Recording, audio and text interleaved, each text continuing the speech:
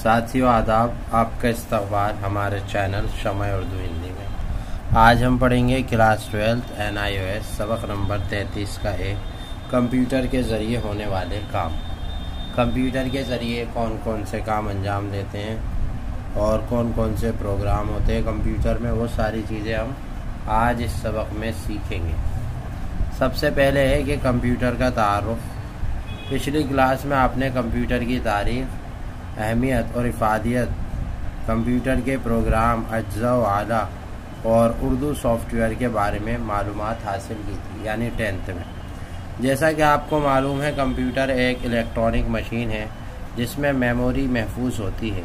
आप हज़ारों किस्म की मालूम इसकी मेमोरी में जमा कर सकते हैं। कंप्यूटर मुख्तलिफ़ हिदायत के तहत काम करता है। इन हिदायत को प्रोग्राम कहा जाता है।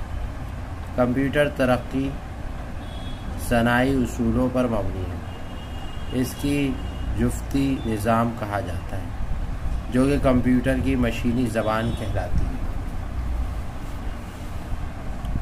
अब इसके बाद है कि बुनियादी दस्तूरम इसके तहत सारे प्रोग्राम चलते हैं। अगर निज़ाम में कोई ख़राबी आ गई तो ये इसका तदराक भी बताएगा। इसके बाद प्रोग्राम थोड़ा सा जूम कर लेते हैं ताकि आपको समझने में और पढ़ने में आसान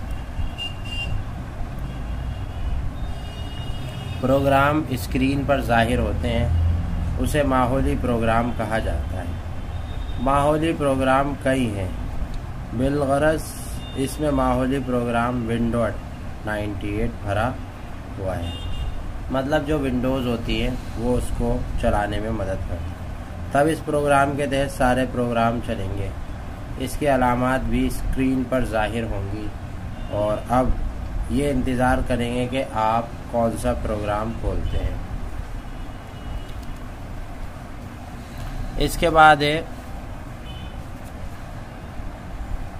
इस तरह ये सारे काम एक खुदकार निज़ाम के तहत अमल में आते हैं, जिसको बुनियादी दस्तूर अमल कहा जाता है। जो किसी भी साख्त के हर कंप्यूटर के लिए ज़रूरी है। ये चार काम अंजाम देता है। इंदराजी और ख़ारजी निज़ाम को दुरुस्त और कायम रखना, फ़ाइलों के इंतज़ाम को दुरुस्त रखना, फ़ाइलों के इंतज़ाम को दुरुस्त रखना जॉब वर्क के निज़ाम को दुरुस्त रखना। अब यहाँ पे अगला है कि कंप्यूटर की बहुत सारी कंपनियाँ होती हैं, लेकिन इन्हें किसी न किसी मैार के मुताबिक बनाया जाता है। जैसे A S C I I I B M A P P S E वगैरह। इसी तरह प्रोग्राम भी इन्हीं मैार के मुताबिक बनाया जाता है। इनमें डी ओ एस डॉज नामी बुनियादी दस्तूरमल भरा होता है।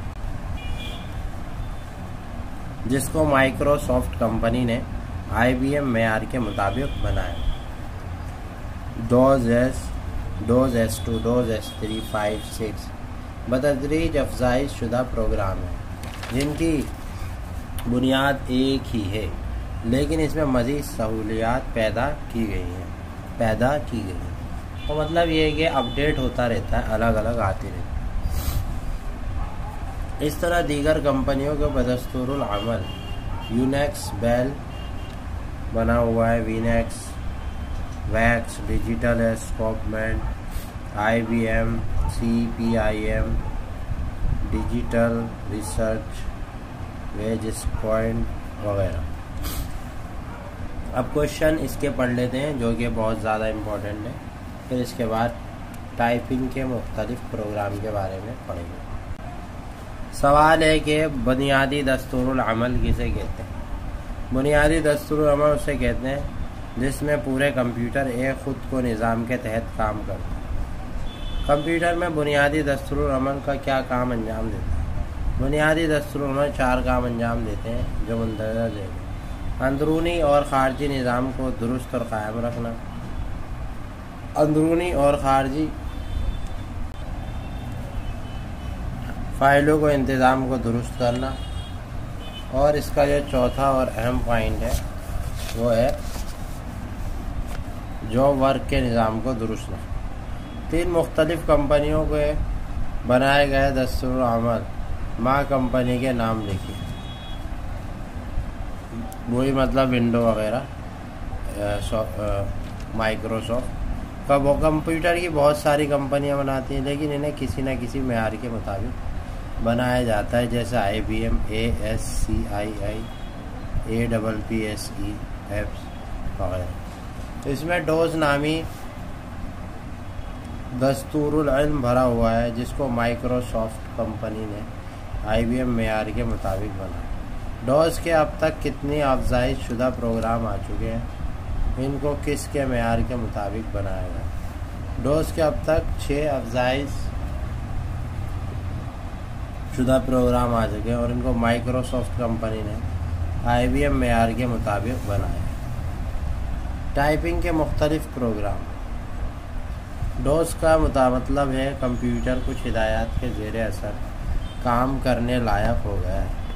अगर इससे कोई काम लेना है, तब इसको इस काम से मुतल हिदायत फ्राहम करनी है। डोज के लिए विंडोज़ का इस्तेमाल किया जाता है और कार महफूजा यानी जॉब वर्क के लिए वर्क नामी प्रोग्राम कंप्यूटर में डालना होगा।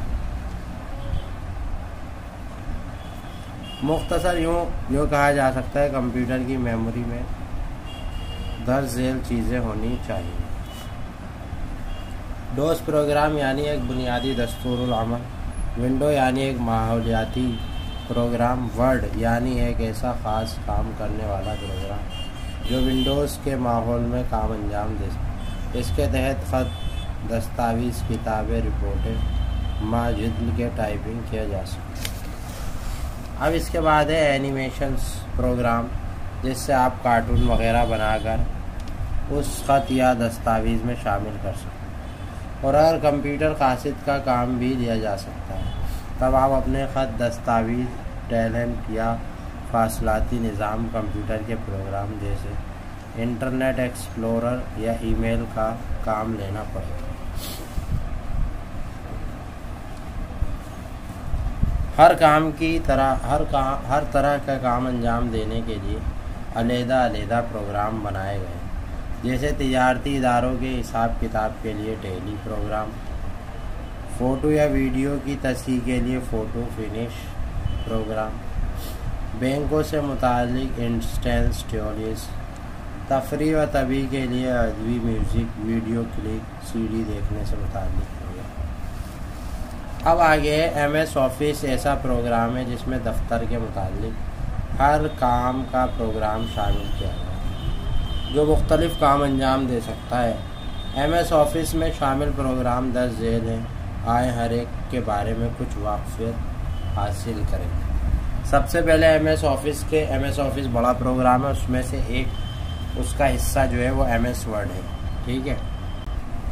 एम एस वर्ड ये अंग्रेज़ी में टाइपिंग का प्रोग्राम है। इसमें आप अपने खतूत या दाश्ते रिपोर्ट या किताबें और दस्तावेज़ वगैरह टाइप कर सकते हैं। इसमें यह भी गुंजाइश है कि इसके तहत मतन से मुतल दस्तावेज़, नक्शे, जदूर और सिनेमा की तरह वीडियो क्लिपिंग भी महफूज की जा सकती है। और ईमेल के ज़रिए दुनिया में कहीं भी भेजी जा सकती है। एम एज एक्सिस इसके तहत लोगों के पते और क्वालिफ ताजराना रिकॉर्ड, कीमतों की फहरिस्त दावत नामे मार्कशीट, शनाख्ती कार्ड वगैरह ऐसे काम बहुत ही कम वक्त में तैयार किए जा सकते हैं। इसका रिकॉर्ड रखा जा सकता है और मुतल लोगों को इन्हें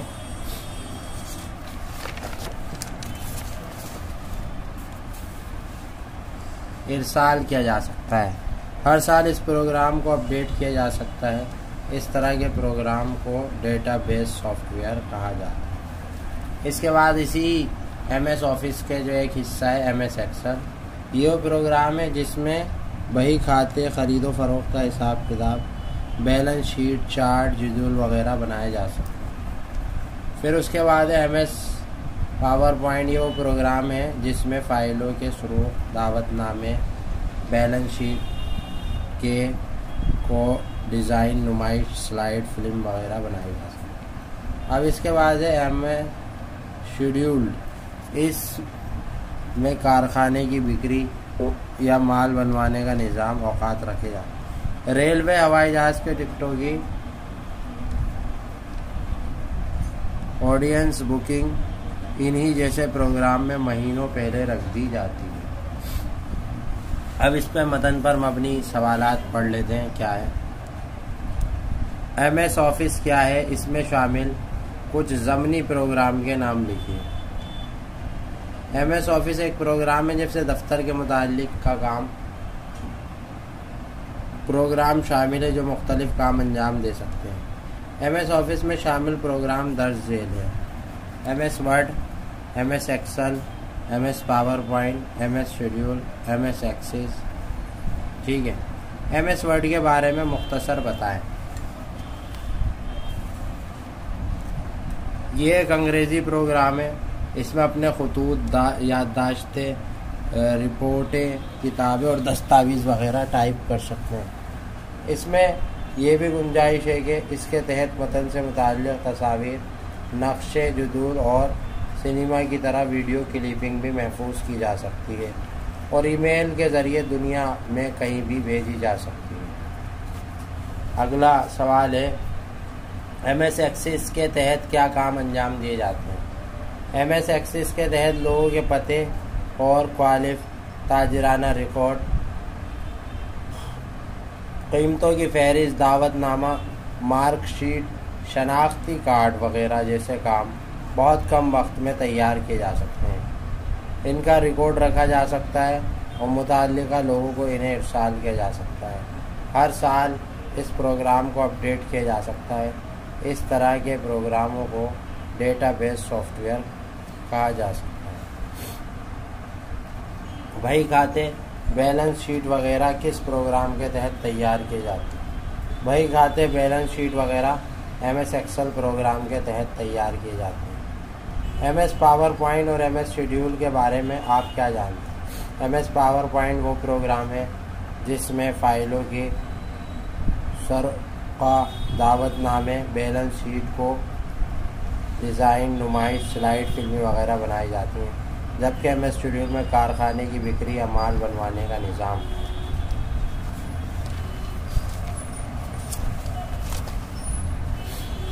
औकात रखा जा सकता है। रेलवे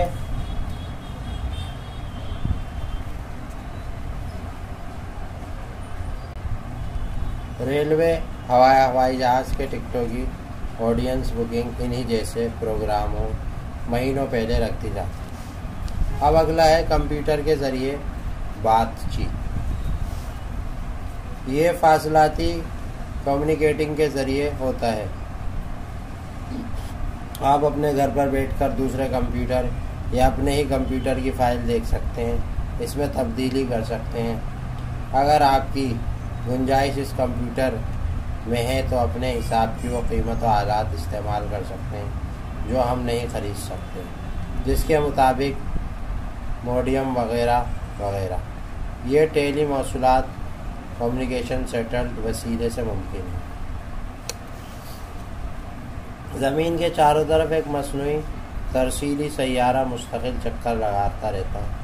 हम लोग हर खत्े में एक बुरे डिश एंटेना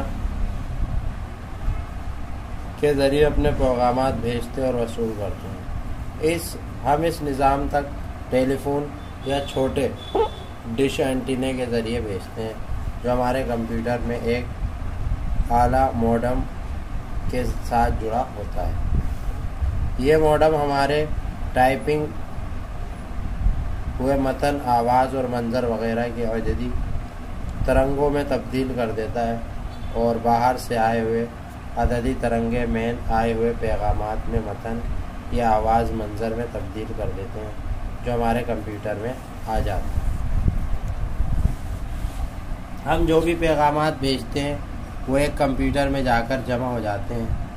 ज़ाहिर है, वो जहाँ जमा होंगे, वो कोई जगह तो होगी। जिसका कोई पता तो होगा कि इस शख्स ने इस पते को जानता होगा, तब वे उस पैगाम को उस पते पर देख सकते अब फरहान की बात ही ले लीजिए।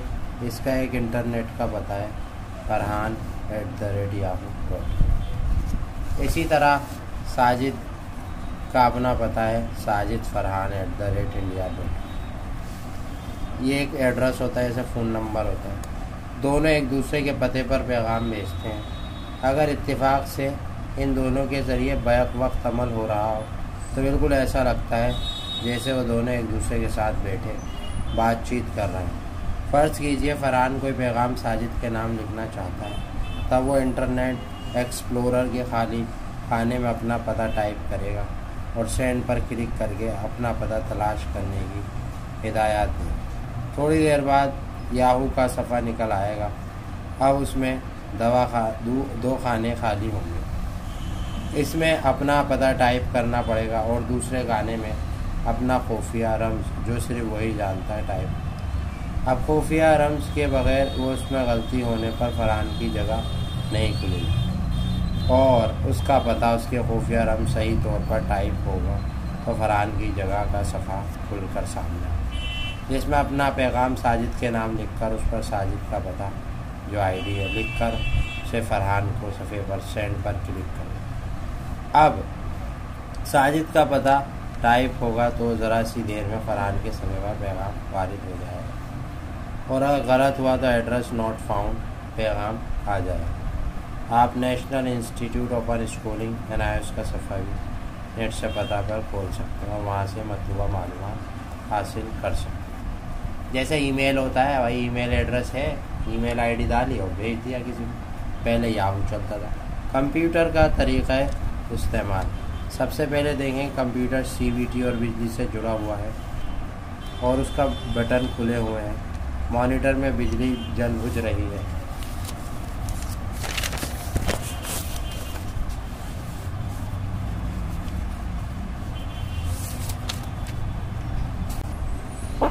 जल बुझ रही है या नहीं? अगर नहीं तो पहले आप कर ऑन करें फिर मॉनिटर के स्विच दबाएँ। जब दोनों चालू हो जाएँ नीचे लग, लगा हुआ सीपीयू का बटन दबा दें। इन सब में हरे रंग का बल्ब जलने का मतलब है ये काम कर रहे हैं। सीपीयू का बटन दबाते ही कंप्यूटर काम करना शुरू कर देता है। पहले कंप्यूटर से मुतल इतलात स्क्रीन पर नज़र आती हैं। जब कुछ वक्फे में गायब हो जाती हैं हर कंप्यूटर में कुछ नक्श होगा तो उसका पैगाम स्क्रीन पर आ जाएगा और साथ ही उसके सही करने का तरीका। दीगर सूरत में विंडोज़ के तमाम इतलात मंजर, मन इतलात मंजर आते जाते हैं।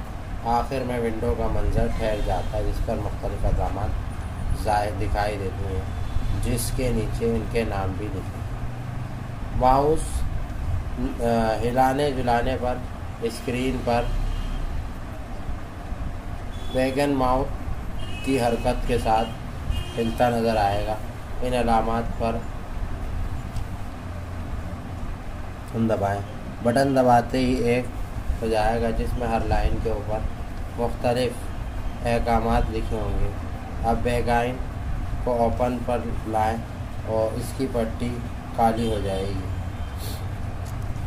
और हरूफ सफ़ेद पड़ जाएँगे। इसका मतलब है कि हुक्म मुख्तलिफ़ मंतखब सेलेक्ट हो गया।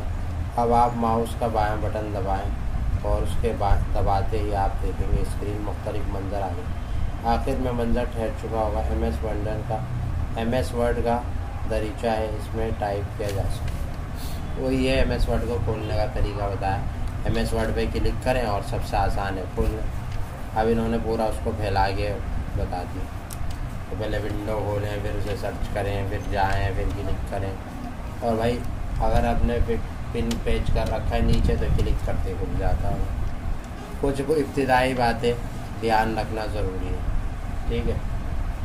क्या इब्तदाई बातें वो पढ़ लेते हैं? सबसे ऊपर एक माकूस पट्टी होती है।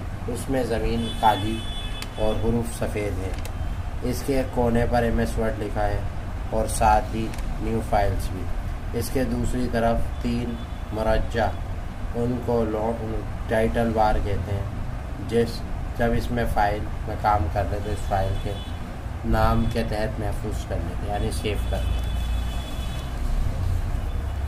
उस वक्त वो नाम जिसके तहत फ़ाइल सेव की गई एम एस वर्ड के बराबर में आ जाता है। इन तीनों मौक़ों में पर बेगान लगाकर बाया बटन दबाने से फ़ाइल बंद हो जाएगी। मगर बंद होने से पहले सवाल वाले थे, इस फ़ाइल को महफूज करें या नहीं। यस नो और यस पे क्लिक करेंगे। तो फिर ये सवाल होगा कि नाम के तहत वारिद इस्तफ़ानिया में अगर कोई नाम टाइप कर सकते हैं, फिर कीबोर्ड से एंटर के नाम पर क्लिक दबा दें और फ़ाइल के उसी नाम के तहत महफूज आएगी जो आपने टाइप अगर नो पे क्लिक करेंगे, बस पर विंडो बन जाएगी। स्टोर डाउन पे क्लिक करेंगे तो पूरी स्क्रीन फैला हुआ विंडो स्ट्रक्चर छोटा हो जाएगा। मिनिमाइज पे क्लिक करेंगे विंडो बिल्कुल सुकड़ कर स्क्रीन के सबसे निचले हिस्से में एक छोटी सी पट्टी की तरफ़ आ जाएगी। अब आपको कोई दूसरा प्रोग्राम खोल कर उसका नाम वर्ड के विंडो को वापस लाने के लिए निचली पट्टी पर बैक क्लिक करें तो विंडो पिछली फैल कर स्क्रीन पर वारिद हो जाएगी। नीचे की पट्टी मेन्यू बार कहलाती है। इस पर दस जेल अल्फाज लिखे होते हैं। जिस पर पैगाम लगा कर क्लिक करने से उसकी फहरिस्त मेन्यू निकलता है जिसमें कई अंबार लिखे होते हैं। जिस अम्र पर क्लिक करेंगे उस पर काम शुरू हो सक, हो जाएगा। हो सकता है किसी काम के लिए मज़ीद इस्तीफ़ा निकलना पड़े, इसके अमल मुकम्मल हो सकता है। File, edit, view, insert format T stable window, menu.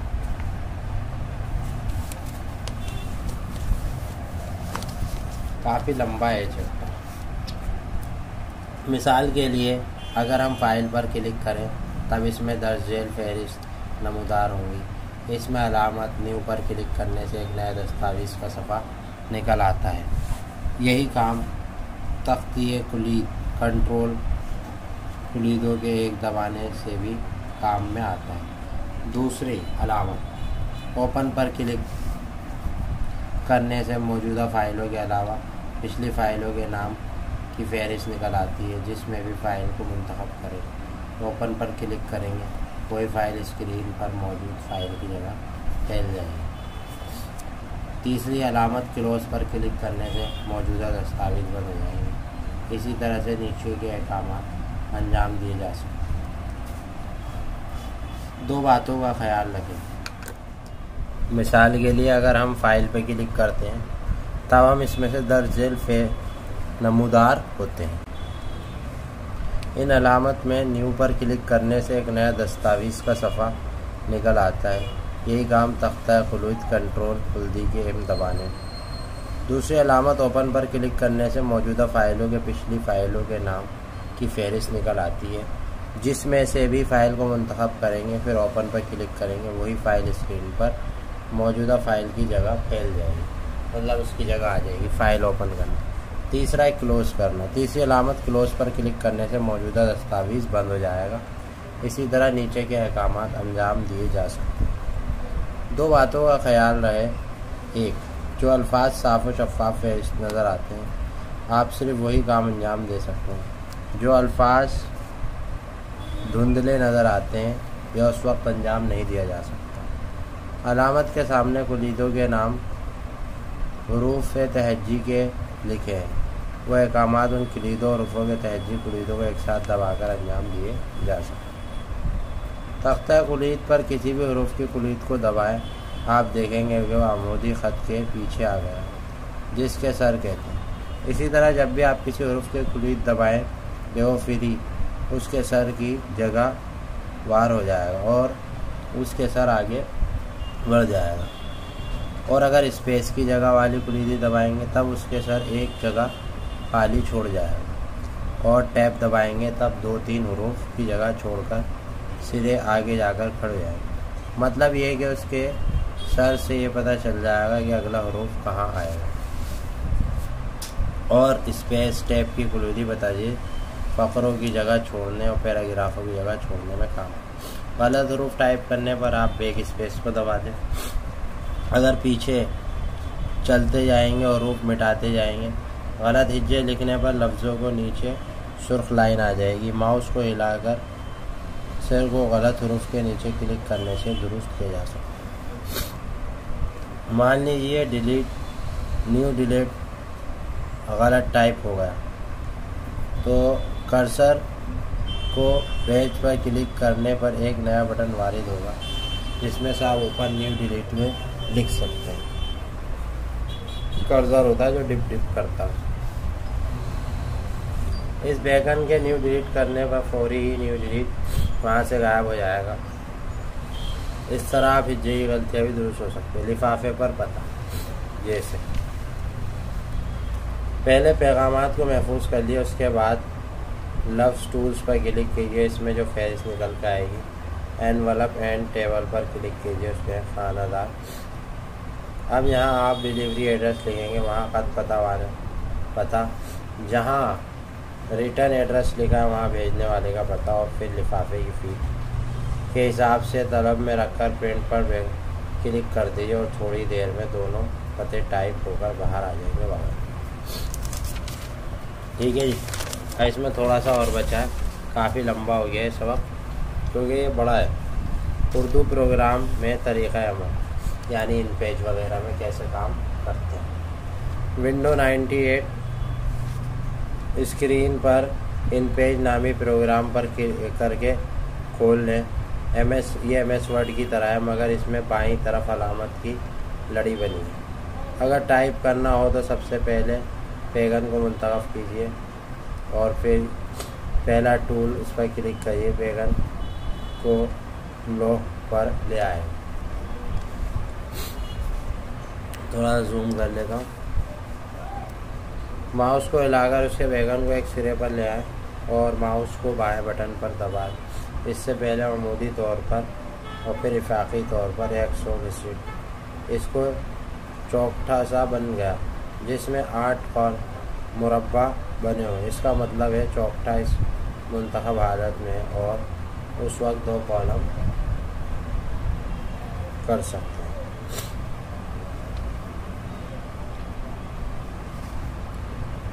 Number एक, कॉले पर लाकर बाएँ बटन दबाकर घसीटने से मुरबा सिमत पर बड़ा या छोटा हो जाएगा जिसमें आप ले जाएँ।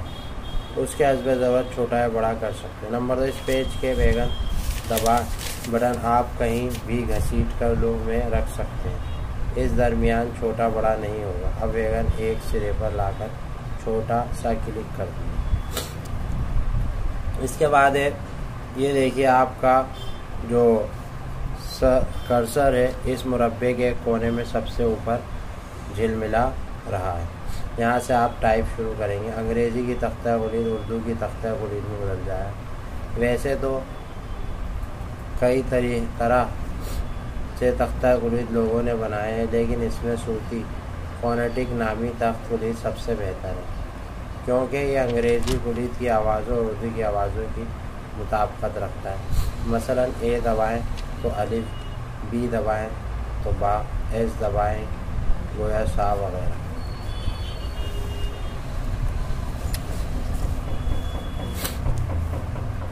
ये टाइप हो जाएगा।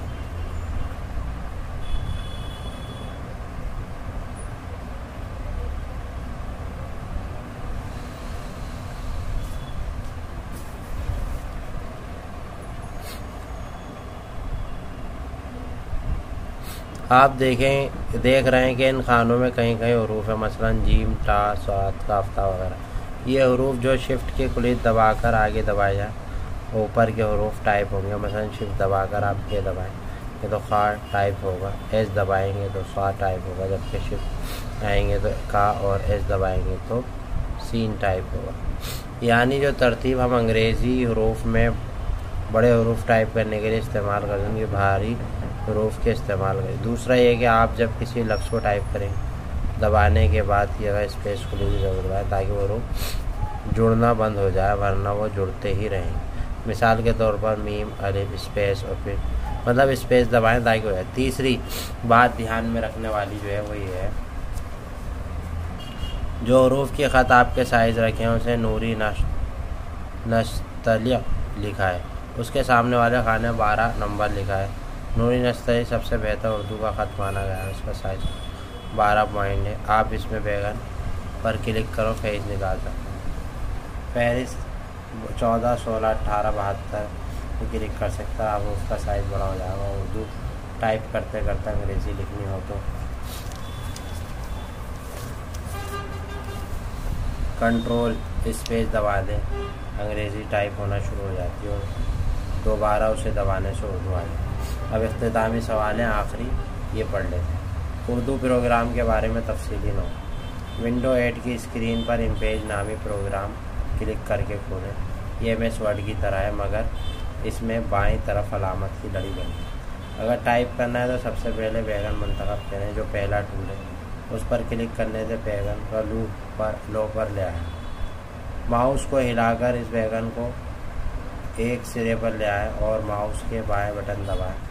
इस सबसे पहले अमूमी तौर पर बरकफ़े पर एक सौ घसीट है। एक चौकटा सा बना है, जिसमें आठ काले मुरबे बने हुए हैं। इसका मतलब है कि चौकटे सौ के मुंतहा भारत में तो काम कर सकते अगला सवाल है, एम एस ऑफ़िस प्रोग्राम किसे कहते हैं? इसमें कौन कौन से ज़मनी प्रोग्राम शामिल है? एम एस ऑफ़िस एक ऐसा प्रोग्राम है जिसमें दफ्तर के मुताबिक हर काम शामिल इस प्रोग्राम में कई ज़मनी प्रोग्राम इन इंटरनेट के ज़रिए आप पैगाम किस तरह भेजते हो इंटरनेट के ज़रिए हम पैगाम ईमेल के ज़रिए भेजते हैं। ईमेल का पता होना जैसे daily India at the rate उम्मीद है कि ये लंबी वीडियो बहुत पसंद आई होगी और वीडियो पसंद आई तो लाइक करिए शेयर करिए कमेंट करिए। चैनल को सब्सक्राइब करिए और ऐसी इसकी वीडियो भी डिस्क्रिप्शन में मिल जाएगी।